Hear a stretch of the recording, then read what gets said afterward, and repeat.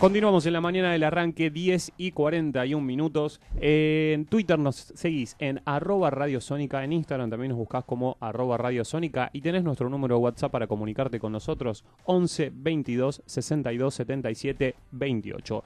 Continuamos en este día jueves con muchas noticias, también con eh, actualidad, te vamos comentando que eh, hay cuestiones que tienen que ver con el FMI, se van conociendo de a poco, eh, con, ¿viste? hay mucho hermetismo alrededor de la negociación que está llevando a cabo el gobierno argentino con el Fondo Monetario Internacional, pero entre una de las, de las cuestiones que viene saltando, por lo menos esta mañana y varios portales eh, de noticias lo están hablando, es de que aparentemente el FMI le exigiría al Banco Central que deje de financiar al Tesoro. Esto es una noticia eh, importante. Por eso vamos a entrar en diálogo con Walter Graciano. Eh, ¿Quién es Walter Graciano? Bueno, Walter Graciano, a mi entender, es el único economista de todos los que, los que están dando vueltas por todos, lados, opinólogos lo llamo yo. Walter Graciano es el único que verdaderamente sabe. ¿Por qué sabe Walter Graciano?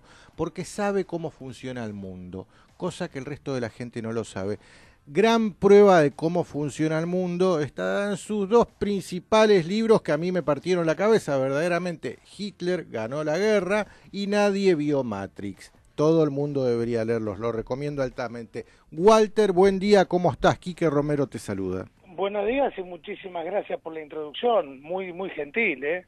Bueno, estamos en claro que sos el único que sabe cómo funciona el mundo. Yo a veces me sorprendo que escucho gente que hasta ocupa cargos de ministros y no sabe cosas básicas acerca de cómo funciona la economía en este planeta. Bueno, eh, es cuestión, lo que pasa es que la gente a veces tiene poco tiempo libre. Al no tener mucho tiempo libre no puede bucear en internet o leer libros y eso lleva a tener algún nivel de, de desconocimiento de algunas cuestiones que en realidad son básicas pero que no se enseñan en los colegios ni en las universidades. Walter, eh, Sequeiro te saluda. ¿Cómo estás? ¿Qué tal? Buenos días, ¿qué tal? Buenos días. Eh, recién estábamos comentando que eh, entre algunas de las cuestiones que tienen que ver con la coyuntura económica del momento es esta vuelta al FMI. Se están conociendo, no sé si estás al tanto, alguna de las condiciones que impondría el FMI en este nuevo acuerdo. Eh, ¿Qué pensás vos de la vuelta al FMI? ¿Qué significa para Argentina, para su economía? ¿Se salió de la crisis que tuvimos la semana pasada o continúan algunos resabios todavía? Justamente antes de, que me llamaran estaba escuchando la conferencia de prensa que acaba de terminar la vimos, la vimos. Este, de Frigerio y Dujovne. Bueno, ellos negaron que, eh, sobre todo Dujovne, que por el momento haya números planteados del FMI. Así que eh, yo creo que esta va a ser una negociación relativamente larga. Eh, algunos dijeron que esto iba a estar el acuerdo firmado en dos semanas. Yo descreo que el acuerdo pueda estar firmado en dos semanas. Esto va a llevar fácil un mes como mínimo, en el mejor de los casos, y generalmente es un proceso que tiene idas y vueltas. Argentina hace sus números, se los entrega a los técnicos del fondo, los técnicos del fondo lo miran, le pide revisiones a la Argentina en algunas cuestiones, Argentina se niega a hacer algunas cosas y otras las acepta, este, vuelven los papeles al fondo, el fondo sobre lo que Argentina negó hacer pide entonces otros cambios y hasta que se ponen de acuerdo en los niveles técnicos pasa un tiempo relativamente largo, no es una cosa que se pueda resolver fácilmente.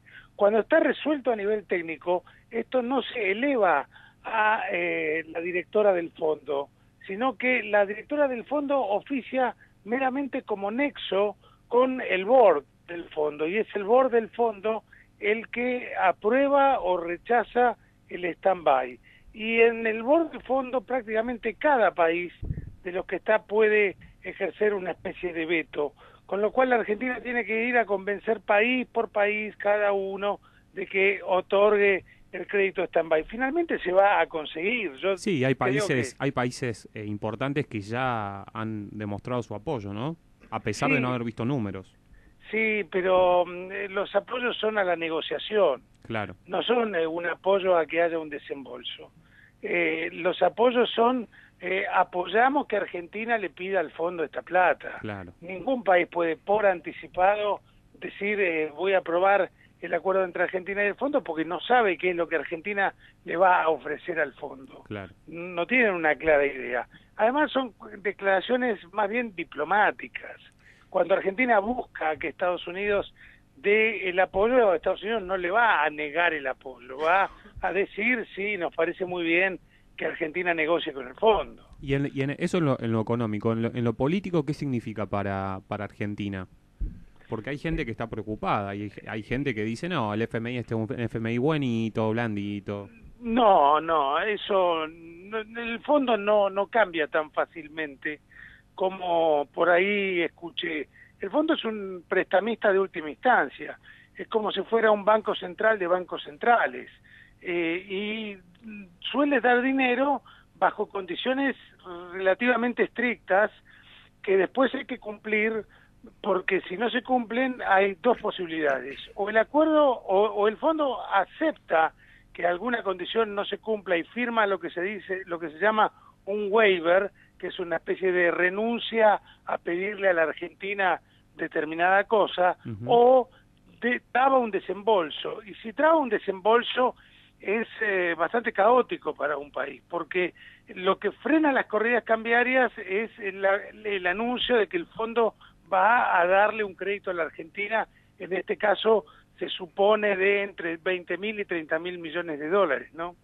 Uh -huh. A mí, Walter, me llama mucho la atención cómo va apareciendo terminología como stand-by, Werber, rescate, hasta blindaje, eh, que la usábamos eh, allá en el 2001. Sí. Eh, vos sentís, y también me viene a la memoria aquella famosa entrevista que le hizo Greg Pallas a Joseph Stiglitz, premio Nobel de Economía del 2001, y Greg Pallas, periodista estrella en aquel momento de la BBC de The Guardian, eh, en la cual eh, Stiglitz mencionaba los cuatro pasos para llevar a un país al infierno del 2001, estamos hablando, y hoy como que siento que se está repitiendo lo mismo, pese a que lo niegan. ¿Vos ves similitudes entre la, entre, en lo que hace a la relación con el FMI, entre lo que pasaba en el 2001 y lo que está pasando hoy?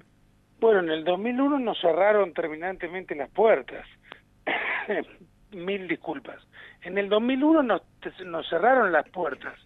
Ahora no nos están cerrando las puertas, pero eh, yo lo que creo es que esto puede terminar como, como terminó el 2001. No la que, no, ojo, no me refiero a que pueda haber un corralito, eso lo descarto, o que haya un default, también lo, lo descarto. Pero sí lo que puede terminar habiendo es después de un inicial acercamiento con el fondo, un alejamiento, porque políticamente esto va a ser eh, un collar de melones para el gobierno el año próximo. Eh, los acuerdos con el fondo son impopulares porque normalmente se le echan la culpa al fondo de los ajustes que hay que hacer en jubilaciones, salarios públicos, suba de dólar, etcétera, etcétera, que son altamente impopulares. Y los políticos dicen, bueno, el fondo me está pidiendo esto, si no lo hago no recibo plata. Y, y, la consecuencia de eso es que los acuerdos con el fondo después pagan el pato los políticos que lo firmaron. Yo no recuerdo presidente que haya firmado acuerdo con el fondo ahora últimamente desde el acceso a la democracia que haya terminado bien. Alfonsín firmó stand-by y terminó muy mal. Eh, Menem, no recuerdo en este momento si firmó, de la Rúa firmó un acuerdo stand-by con sí, el fondo. Sí, Menem también firmó acuerdos stand-by. Menem sí. también eh, firmó, pero bueno, en ese caso no La se, negociación no... del plan Brady también incluí, incluía todo esto.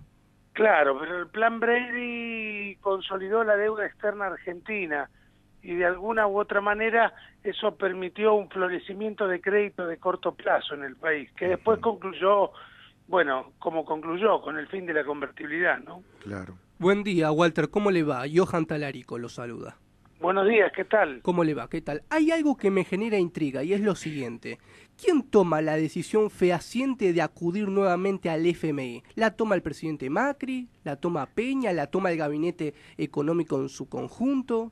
La información que tengo yo es que el ministro Caputo se asustó cuando eh, hizo varios llamados a Nueva York y vio que no había fondos disponibles para Argentina a ninguna tasa, se comunicó directamente con el presidente Macri le dijo que no era posible tomar dinero, había grandes presiones con el dólar y la decisión la tomó, según lo que tengo entendido yo, directamente el presidente Macri. El qué, presidente. qué detalle ese. Ahora, Walter, eh, vos eh, te escuché en varias entrevistas televisivas que te hicieron diciendo que lo que sucedió eh, hace dos semanas, ese famoso super martes, así lo están titulando en los medios, eh, fue el primer round de una pelea a, 15 y que si esto sigue, la Argentina, así como está, no llega ni al cuarto round. Eh, ¿cómo, ¿Cómo sigue esto? ¿Cómo lo ves? Yo creo que va a ser un año de pulseada cambiaria durante todo el año, con la probable excepción del periodo post acuerdo con el Fondo Monetario, en el cual quizá haya una bonanza transitoria de varias semanas consecutivas donde Para semanas dijiste, bueno, o sea, una bonanza dura semanas, nada más. Sí, sí, bueno, puede ser un mes, un mes o dos. Un mes o dos, estamos en el horno. No, lo que pasa es que la cuenta corriente, perdón, el balance de pagos de la Argentina lo que se llama cuenta corriente del balance de pagos, que es nada más y nada menos que la diferencia entre lo que eh, vendemos al exterior y lo que compramos, más los intereses que pagamos, estuvo en el 2016 y sobre todo en el 2017 muy desequilibrada en contra nuestra.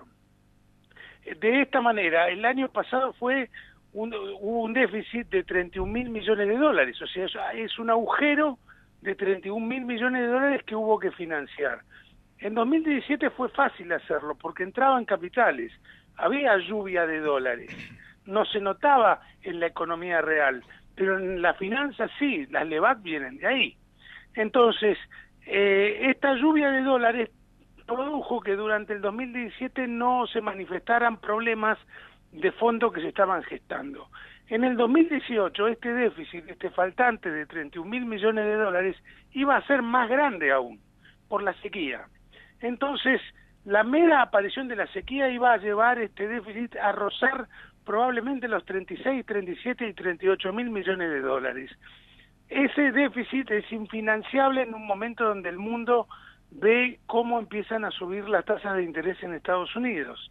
Por lo tanto, lo que termina pasando es lo que pasó. El plan choca de frente contra el iceberg de la realidad norteamericana y de sus propios déficits crecientes.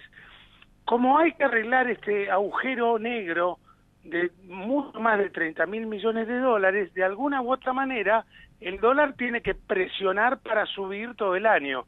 Si el fondo pone 20 mil o 30 mil millones de dólares, ayuda a poder pagar los vencimientos del Estado, todos los intereses que tiene que pagar el, el, eh, eh, el, Tesoro, más los vencimientos de capital. Pero con eso no soluciona el balance comercial.